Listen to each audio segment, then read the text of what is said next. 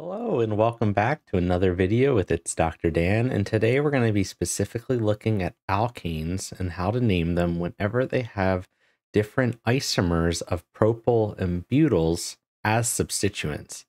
So one of the big things about these different groups is that with propyl and butyl is that they start adding a lot more carbons, meaning that eventually they're not always going to be just in a straight chain anymore.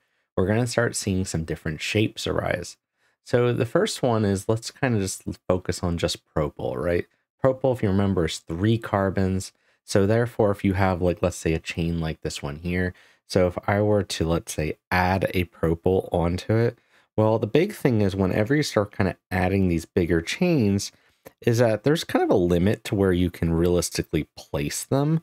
Um, just because if you sort of place them like too close to the ends, it's going to end up redefining your longest parent chain. So typically you only ever have them in the middle and they tend to be even a little bit more rarer, especially in terms of organic chemistry one and introductory chemistry. So if I kind of have this in the middle here, um, and I wanted to name it, so if I kind of name it from the left and I say one, two, three, four, five, six, seven, eight, nine, well, how would I end up naming this? Well, if you remember from my, from previous lessons or from my other videos that this would be 5 methyl, or sorry, not 5 methyl, 5 propyl. Uh, nonane would be the name. Now, is this the only shape? Well, there's other shapes possible, and it has to do with isomers. So if you remember, isomers are whenever you have the same exact chemical formula, um, but it has a different structure. So propyl has one of them. So the, essentially for propyl, it can actually form this Y shape that is right next to me where it's isosymmetric. So you can see that when you look at this uh, structure here, that the R, remember that's the rest of the molecule. So that's referring to your chain. It's connected to a single carbon and then it's split on both sides. And you can see that too in the skeletal structure as well, that it has that split. So essentially, if you ever were to put this in a structure, it allows it to get a little bit closer to the ends as a result. So let's say if I had my nonane and I ended up putting it, let's say on carbon number three, and I have that split, well, how exactly would you go through naming it? You do the exact same process as before, right? We would say that, hey, we have nonane, which is that nine member uh, chain and we would end up putting where that isopropyl is, which is at the third position. And you would say three isopropyl nonane. And that's because of the shape of it, right? So that's something else. One more thing to really look for is that whenever you have this special shape of this Y shape here, that means that, oh, you have an isopropyl. Now, is that the only one? Well, kind of uh, saw at the beginning, it was propyls and butyls both have them and also pentyls as well, but we're not going to do that in this particular video. Let's take a look at butyls specifically.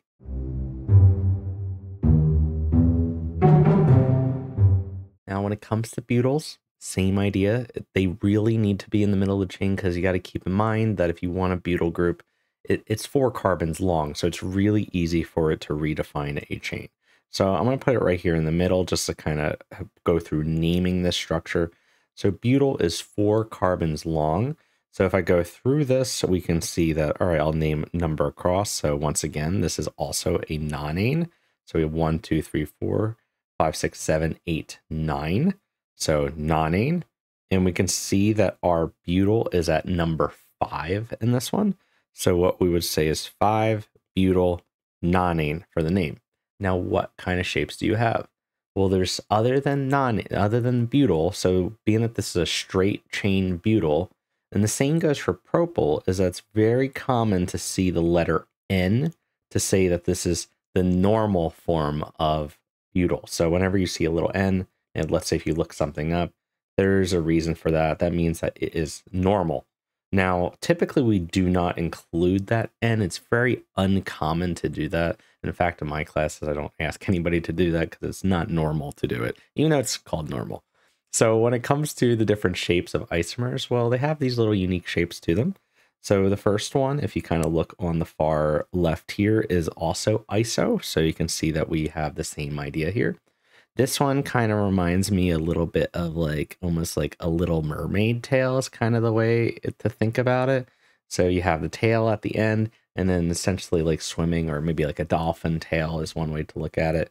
Now, what makes this one um, different than essentially the one that we had earlier is the fact that there is an extra carbon uh, right here. So you can see that we have uh, going through these, we have one, two, three, four carbons, which if you remember, butyl is four carbons. And then they have the condensed structure here to show as well. There's also sec butyl. So sec is coming from secondary. So it's sort of like the classification. So with this one, right, you can see this carbon here in the middle uh, that's connecting the two sides. You can see it's uneven as a result. So it has one, two carbons on each side. That's where the secondary comes from. And then you have your fourth carbon as well. So it'd be sec secondary. And the last one I always are kind of refer to as a little bit looks like reminds me of like a chicken foot or a bird foot. Um, and then with this one, you can kind of see the three the three little toes that are pointing up. So you have uh, one, two, three, and then the fourth one in the middle and that one is tert-butyl. So it has CH3s all around the carbon. So that's what we're going to be seeing right here with that carbon. Um, and then each one of them is its own unique shape to it. So let's kind of practice trying to identify some of these and to go through a couple examples of it. So that way we, we are familiar with it when it comes to your class. All right, let's take a look. So for the following problem, we're going to write the IUPAC name for each of the following molecules. So let's go through our steps.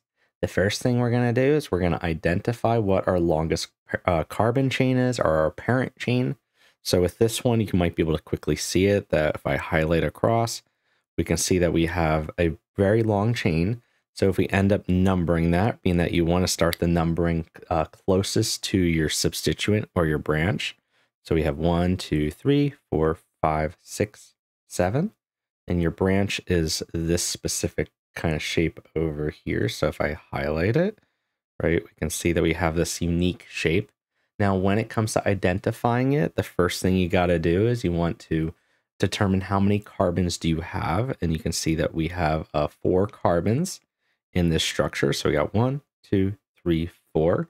So that's going to be one of your butyl shapes.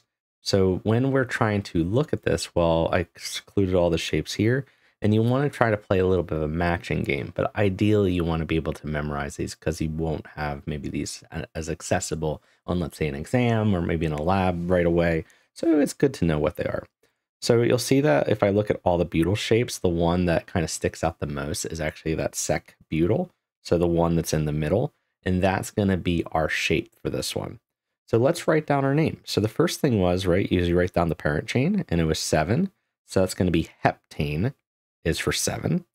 And then we have essentially our branch, which is located at carbon number three. So what we're going to simply do is take three, and then we'll say three sec butyl. And that would be the name for the and sec butyl heptane would be the entire name. Let's try another. So if I'm to look at this one, well, oh, we got something a little interesting here. We have a ring structure and one of the groups.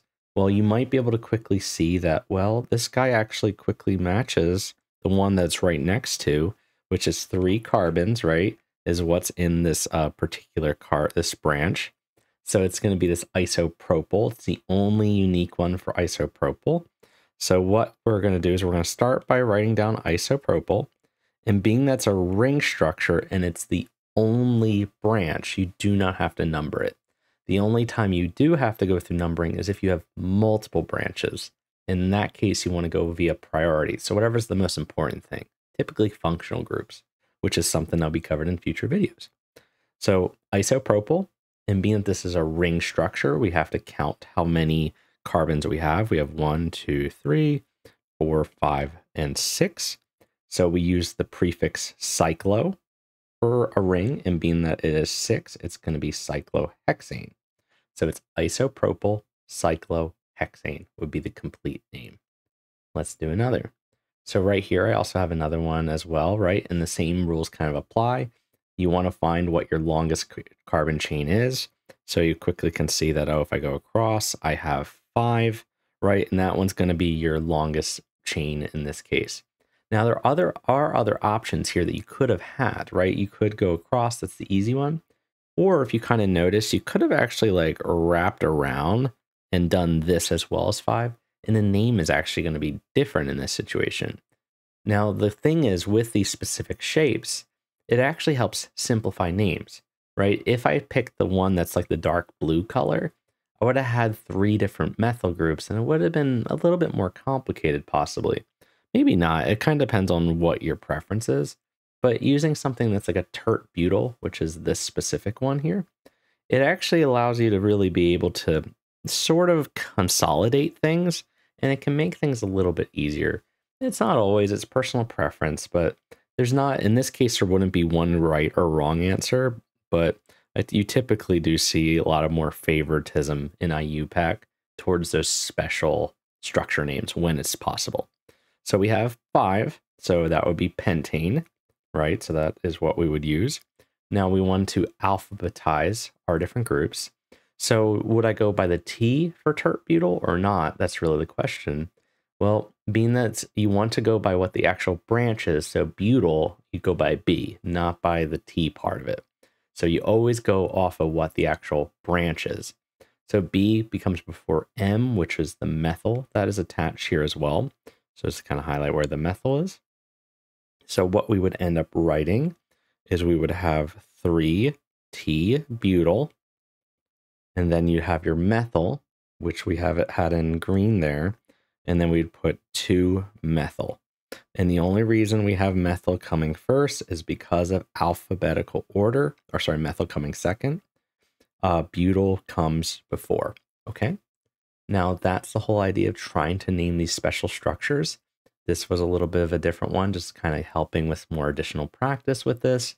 If you still need help on just branching and you haven't seen my video on how to name with branches, and I'm going to have more videos coming out in organic chemistry. So please feel free to hit that like and subscribe button if it's your first time here and you need help with your class um, in this.